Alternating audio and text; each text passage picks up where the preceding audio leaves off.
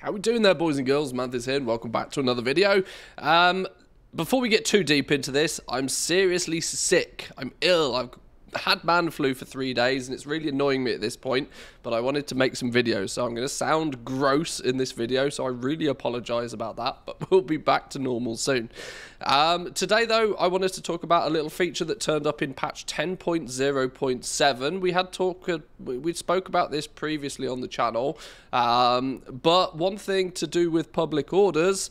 Uh, a significant change happened, and a lot of people seeming to be uh, getting caught out by this. And there's a solution that has cropped up, and that's what I really want to talk about today.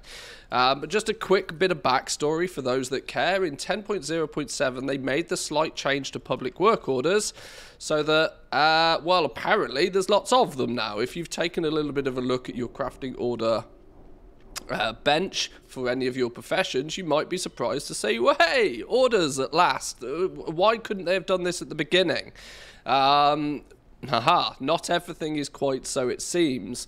The significant change that happened in 10.0.7 is that they made it so that you can put out a public order without providing any of the materials. Now, this does, yes, mean that there appears to be a lot more orders than there once was.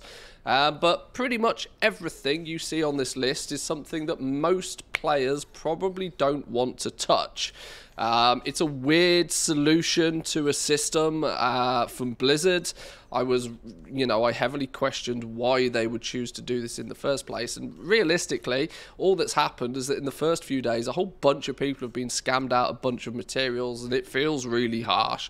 But anyway, let's take a quick look at what I mean then. So, like Rhinestone sunglasses, for example, here, there's a commission of 100 gold on these, and you're like, oh, right, yeah, cool, I, I, just 100 gold, right? Genius, excellent. When you go into it, though, and you take a look at the order, all of a sudden you can see that nothing's been provided. Um, now, I've got a little add-on here. I think this is Auctionator. Um, somebody will correct me if I'm wrong. There's a little add-on. One of my add-ons is uh, showcasing me what it costs to craft this item based on sort of recent prices for the materials. And you can see nearly 570 gold to craft this item. Somebody is willing to pay me a commission of 100 gold to craft it but I have to provide all the mats. So I'm going to be out of pocket a good 470 gold if I press if I complete this order. Now, this is where it's up to you to decide what to do. Uh, if you are still trying to level your profession, maybe 4 500 gold for some skill points is worthwhile. Maybe if you're trying to get first time craft bonuses, maybe 4 500 gold for some for a first time craft knowledge point is worth it to you. But in the long term, you're just going to want to ignore these. You want to get these to disappear, go away. Why would you ever pay to craft somebody else's gear? Um, so much so that people have started to consider this a bit of a scam. But where's the solution then? Let's get into the details of this. Where is the actual solution here? Well, the solution is a little add-on called Public Order Reagent Column. Um, some clever clogs threw together a little add-on really super fast um, and basically all it does is it adds this extra column to the list where it shows the amount of reagents that have been supplied. Uh, so in this case, you can very quickly see none. No reagents were offered with this. Ignore it. You can go back. Um, let's have a little bit of a look at the public orders again. Let's try something else. Let's look at, I don't know, the Elemental Lariat, for example. There's three orders here, and very quickly we can see the reagents tab is showing none, some, or all. Um, the one with all, oh, hey presto, we might actually want to do this one, great, but I don't have the recipe, boo. Um, now, there is an extra little bonus uh, thing you can press here, hide listings that do not provide all of the materials. If you, with your profession, are not looking to gain skill points or you are not looking to uh, craft things for the first time, tick this button and a bunch of stuff will start start to disappear off your list. You can see all of a sudden there isn't actually anything there. Unfortunately, it doesn't seem to be able to kick in on the front page, so you are going to have to still scroll through some of the options, unfortunately. Um, the irony here is the Crystal Tuning Forks, 33 outstanding orders for these. Not a single one is providing all of the reagents. Um, this is what it's turned into, unfortunately. Whilst I do think from Blizzard's perspective it does showcase the fact that uh, public orders do exist and people were using them. It's just they weren't sticking around more than like two or three seconds before somebody clicks it, somebody starts the order, somebody crafts it, and they're off.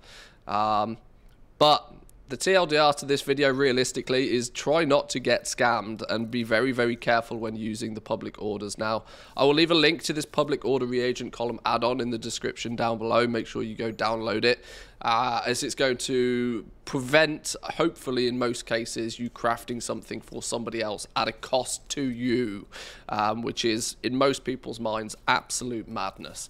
Um, but, you know, Blizzard wanted to make it so that people think orders exist.